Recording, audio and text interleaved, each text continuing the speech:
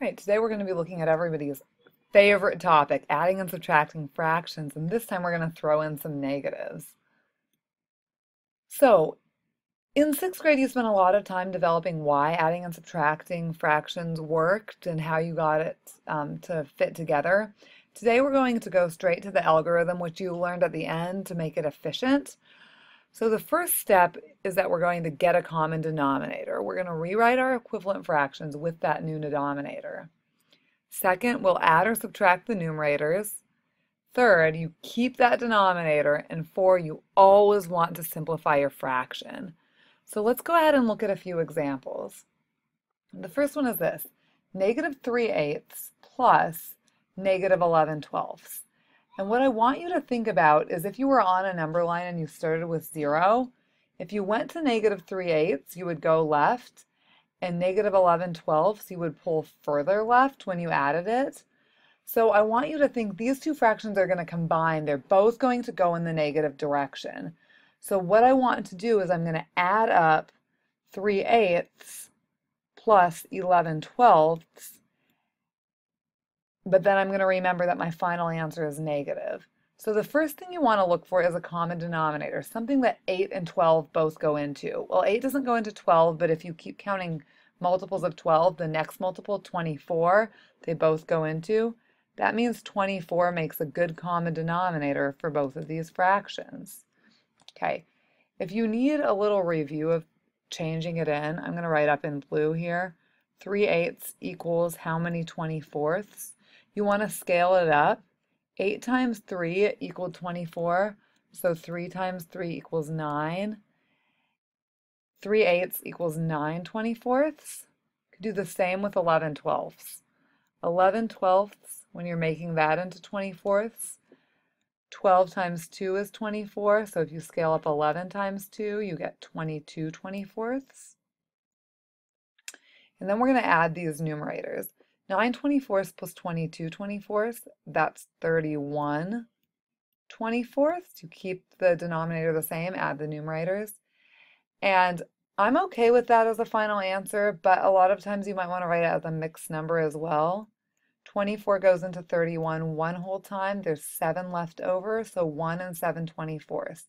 The only problem is when we did this, these both moved left so in our final answer here, when we go back to our original problem, it's negative 1 in 7 24ths or negative 31 24ths. Either of these I'll accept for full credit. Okay, let's look at a second example. This one's negative 5 sixths minus negative 3 halves. When we did that plus minus connection, one thing you noticed is that when you have that minus negative, a lot of people like to change that to negative 5 6 plus 3 halves. Okay, you're going to really have to think about what this look like looks like on a number line. If you start at 0 and you move negative 5 6 to the left, and then you add 3 halves, that's going to go to the right. 3 halves is more than 5 6, so you're going to end up in the positive zone. Over here, your answer will be positive. And notice they aren't going the same direction. So what we're actually figuring out here is where their absolute values, it goes left 5 6 and right 3 halves. Where it ends is the difference of their absolute values. So the easiest way to do this problem is to subtract 3 halves minus 5 6. Again, we need to get a common denominator. So 2 does go into 6, so 6 is a good choice for a common denominator this time. And if we did the same process as before, you want to know 3 halves equals how many sixths? It scales up by multiplying by 3, so do that to the numerator as well. You get 3 halves is 9 sixths. 5 sixths, you don't have to change that. That just is 5 sixths. 9 sixths minus 5 sixths, subtract the numerator, you get 4. Keep the denominator 4 um, 6. So you get 4 sixths reduce that, divide both the numerator and denominator by 2, we're going to get an answer of 2 thirds.